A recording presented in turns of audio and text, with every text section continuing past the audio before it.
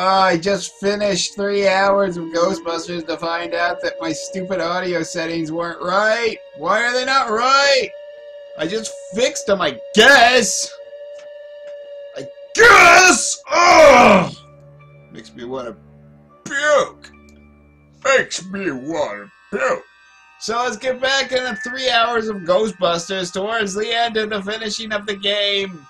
So who are you gonna call? Not me. Who you gonna call? Who are you gonna call? No.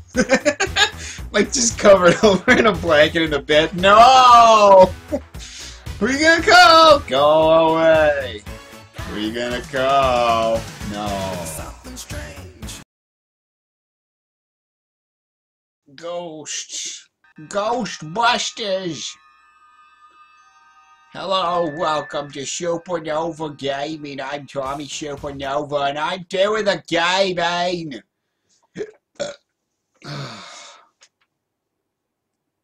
I honestly don't feel like doing this. I don't want to do it.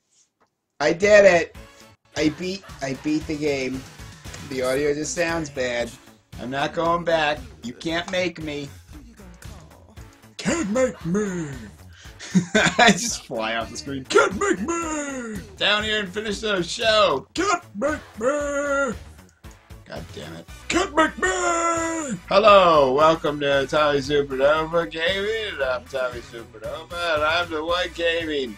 We've pushed the Mostio microphone boost up like a cuckoo manga, and I'm pretty sure I'm topping out my green right now, so it sounds really loud. I'm hoping at least, or else I'm not going to be able to figure out what's going on with the freaking audio.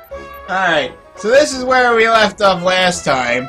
Here comes my three hours login log, so sorry if I just only start running for an exit as soon as I know it's there, because I just finished the game and I know where everything is. I'm probably gonna run past all little items, all these cool little circa items, these little things they put in the games, these paranormal little objects that you have to figure out and find. Of here, Skype. Alright, let's go ahead and start playing.